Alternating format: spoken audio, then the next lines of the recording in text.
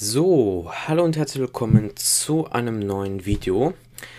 Diesmal nicht Minecraft, wie man es hier gerade sieht, sondern man sieht einen wunderschönen Desktop-Hintergrund. Ähm, diesmal ist After Effects wieder dran und zwar eine Sound Animation. Ja, Sound Animation äh, habt ihr ja bei mir gesehen, gibt es ja schon relativ oft bei mir.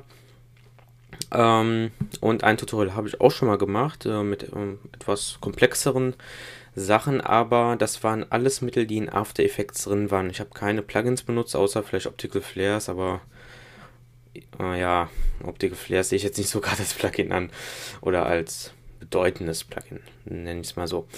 Ähm, ja, ich möchte diesmal für die Erstellung der Audio Keyframes ein Plugin verwenden und zwar Trapcode Sound Keys 1. irgendwas, weiß ich nicht. Ähm, das es mir halt ermöglicht, wesentlich besser und komfortabler äh, aus einer Sounddatei oder allgemein aus Audio-Files die Keyframes zu extrahieren. Ähm, ähm, ja, das ermöglicht es halt auf eine ganz simple Art und Weise. Ja, ähm, wie das Video nachher am Ende aussehen wird, ich habe mir eigentlich so als Idee gesetzt, was ich bei manchen äh, Musikvideos schon mal gesehen habe, ähm, dass das Bild bei Bessen immer so ein bisschen so verzieht. Ja, sowas in der Art möchte ich machen. Äh, ich habe jetzt kein Musikvideo gedreht und ich möchte mir jetzt auch keins nehmen, sondern ich mache das jetzt einfach mit einem Text. Das werdet ihr aber gleich sehen. Okay, zuerst fangen wir mit After Effects an. Wo ich das nicht gestartet habe, weiß ich nicht. Und jetzt braucht es mal wieder 20 Jahre zum Laden.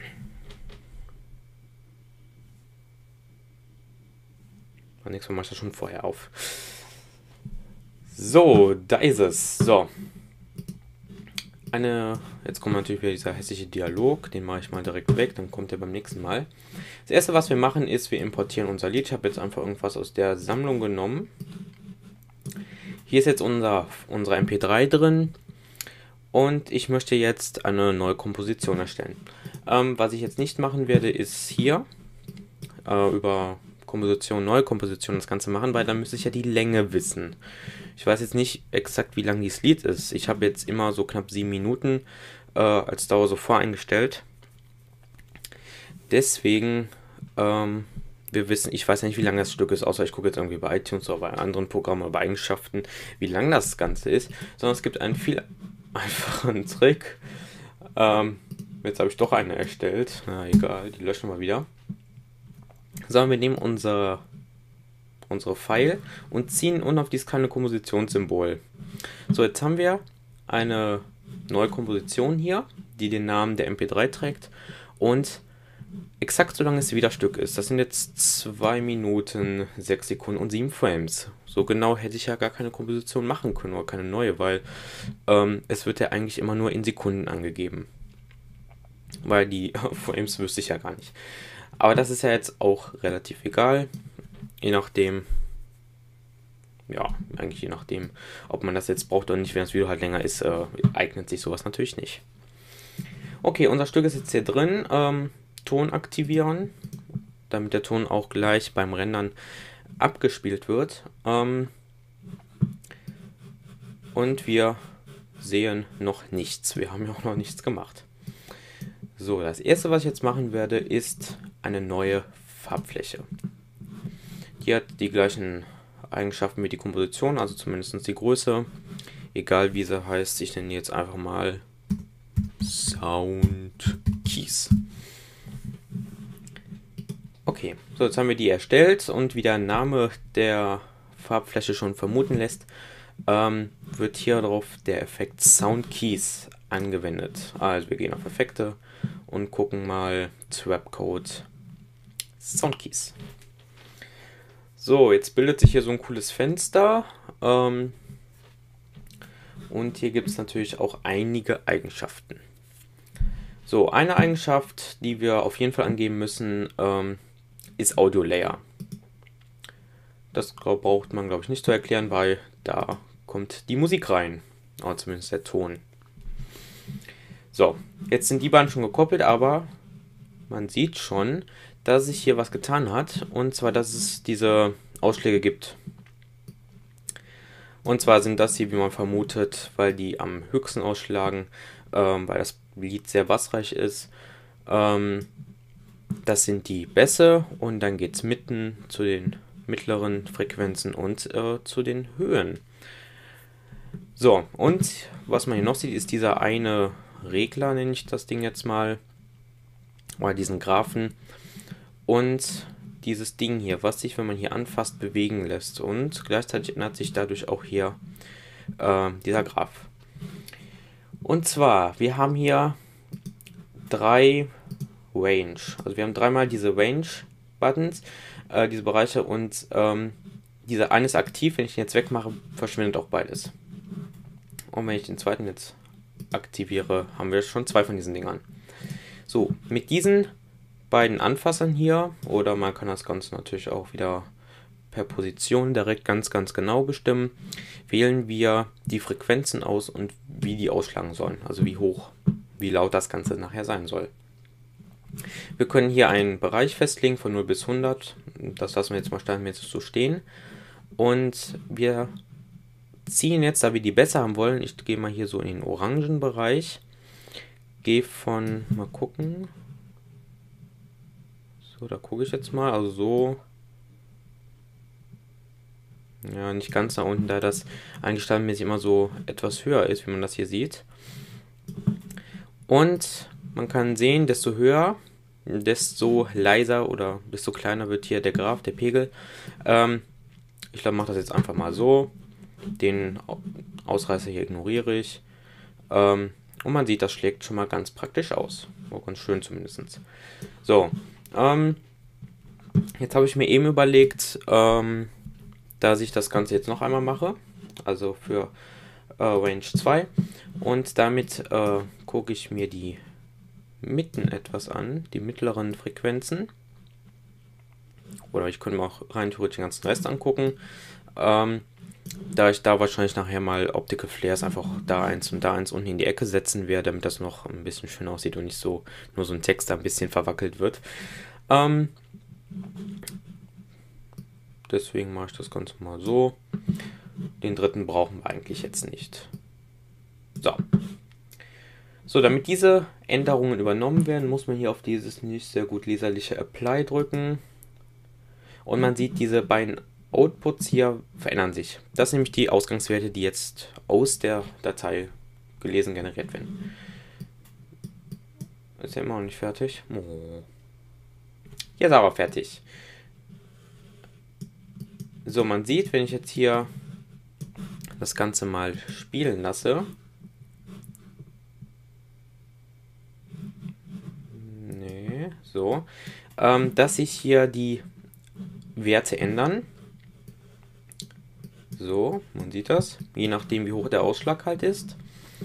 Und das ist jetzt das eigentlich, das ist jetzt fast das gleiche sogar, wenn ich sage Rechtsklick auf die Audiodatei und Keyframe-Assistenten und Audio in Keyframes konvertieren. Das hatte ich ja früher einmal gemacht, da ich noch nicht dieses Plugin hatte. Ähm, und früher musste ich dann hier in der Sounddatei noch die Bässe hoch, also hier mit dem Effekt äh, Audio und dann Bässe und Höhen, damit ich möglichst gut die Bässe extrahiert bekommen habe. Das Ganze kann ich natürlich jetzt hier, ähm, jetzt muss ich wieder so umständlich gehen, ähm, habe ich natürlich hier ganz einfach jetzt mit dem Plugin Soundkeys, äh, dass ich einfach wählen kann, welche Frequenzen ich haben will, wie hoch der Ausschlag sein soll, welche, ähm, wie das Ganze angelegt werden soll eigentlich. Und ja, also vereinfacht alles. So, mit äh, Sonkey sind wir durch und wir machen jetzt wieder eine neue Farbfläche. Und die nenne ich einfach mal Text. So, damit ist die überdeckt. Die können wir jetzt natürlich sogar unsichtbar machen. Und hier drauf schreibe ich meinen Text. Das heißt, wir drücken auf das Textsymbol. Ähm, so, mal gucken. Oh, hier Schriftart. Ähm, das ist E.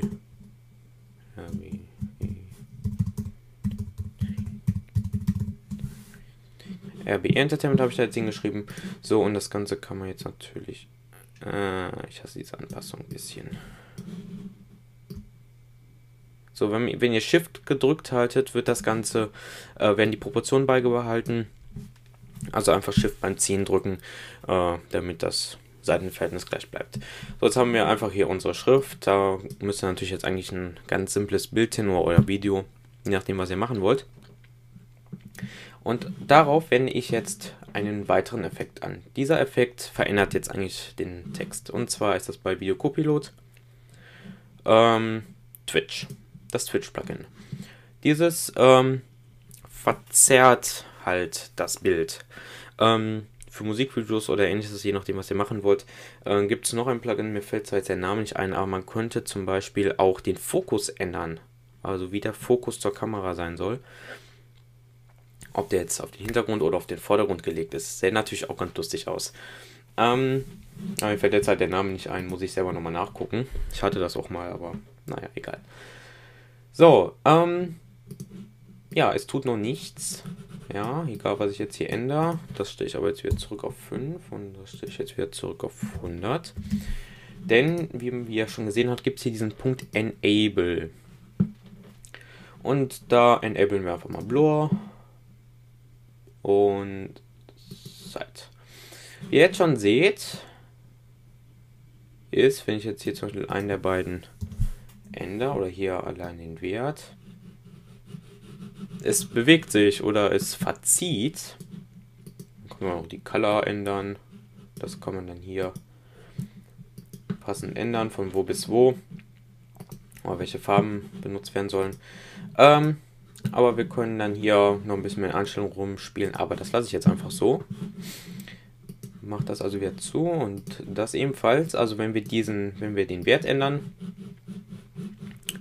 so die Anzahl, dann können wir halt sehen, dass das alles verschwimmt. So, mache ich jetzt nochmal. Äh, das war jetzt nichts in der Sache, aber zu Demonstrationszwecken ganz lustig.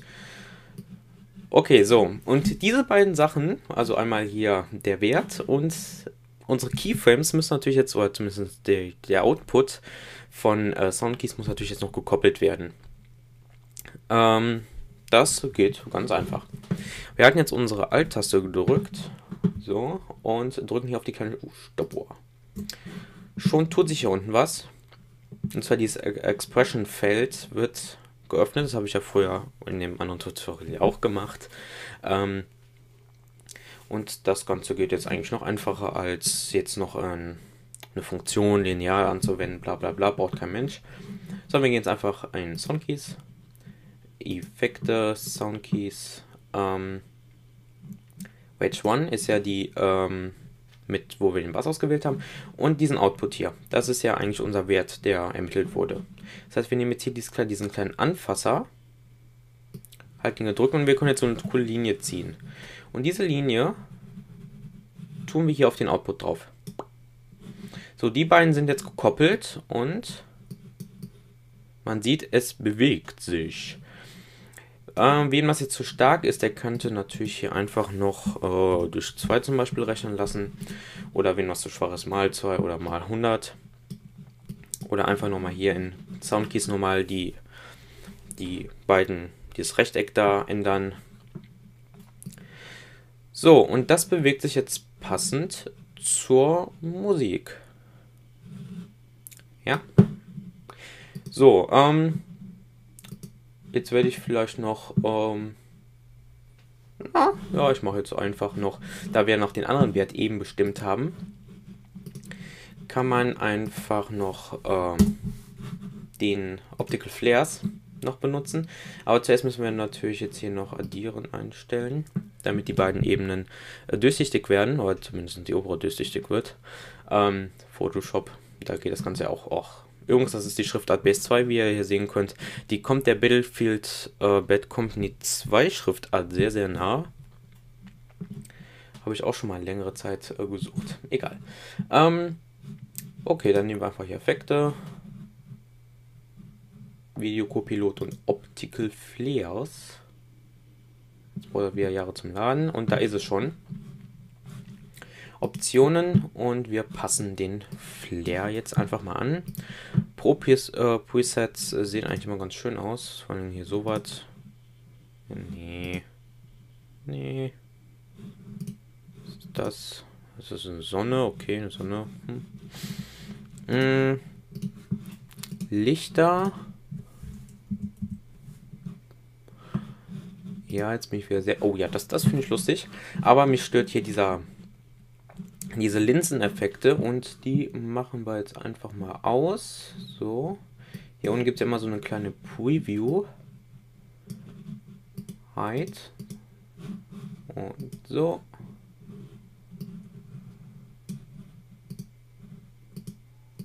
Hm. Ja. Was wird mich das enden? Passiert irgendwas? Genial.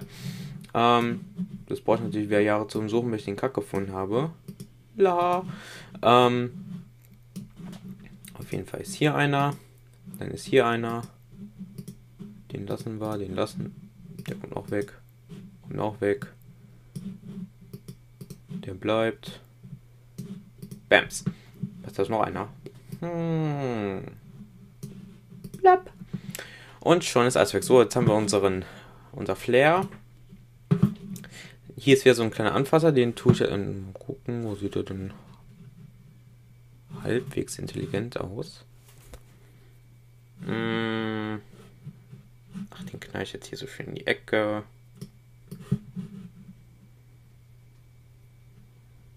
So. Habe ich den da drunter platziert. Ähm, und jetzt muss der ja auch wieder verändert werden. So, jetzt haben wir hier natürlich wieder die ganzen Eigenschaften. Wir haben einmal die Brightness und wir haben den Scale-Eigenschaft. Ich werde mich aber wahrscheinlich auf die Brightness einfach berufen und werde die jetzt im gleichen Prinzip anpassen. Ähm, das heißt, wir halten wieder die Alt-Taste gedrückt. Ähm, dann kommt hier halt wieder dieses Expression-Feld. Soundkeys, das habe ich gerade so schön zugemacht. Mache ich äh, Wedge 1 zu, mache Wedge 2 offen auf und ähm, gucken wir jetzt, wo man hier, wieder dieser kleine Anfasser da, wo ich die Linie mitziehen kann. Output 2 anwählen. So, jetzt haben wir ein schönes Beispiel, das ist zu stark, äh, zu schwach ist, weil unser kleines Optical Flare Ding da so ganz unten mickrig rumleuchtet. Äh, Deswegen, wenn wir jetzt hier mal 10 und mal gucken, ah, es wird doch schon, sieht doch schon viel besser aus. So, was mich aber eben etwas gestört hat, wie ich das gerade gesehen habe, ist, dass unser Text ähm, etwas zu doll ausschlägt. Deswegen gucken wir nochmal Twitch, genau hier, durch 2, machen wir durch 4.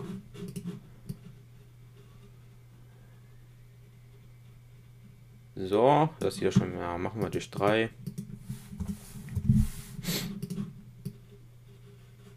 wesentlich besser. So, und jetzt passt natürlich der hier der Flair nicht mehr. Ähm, die Teast dann auf Deutsch machen wir nicht mal 10, machen wir mal 8 draus. Also einfach ein bisschen mit rumspielen. Passt. So, ähm, hiermit sind wir durch. Der Teast, wir machen alles zu. Ähm, und das rendern wir jetzt einfach. Einfach Komposition an Rennerliste anfügen. Und hier muss man auch was beachten, denn die Audioausgabe ist standardmäßig deaktiviert. Das heißt, die müssen wir erstmal anmachen. Jetzt kann man hier natürlich noch einstellen, ähm, was man haben will, welche Eigenschaften, äh, Bitrate, ähnliches. Und äh, ich benutze QuickTime. Das ist dann .mov als Endung. Das passt eigentlich bei mir immer ganz gut. So, wir speichern das unter meinem Schreibtisch. Man sieht hier auch schon quicktime.mov ist die Endung. Ähm, und jetzt kann man einfach auf Rendern drücken. Ähm, ich würde sagen, ich verabschiede mich jetzt und ich werde das Video und das natürlich das gerenderte Video hinten anhängen. Und ja, dann würde ich sagen, bis zum nächsten Mal. Tschüss.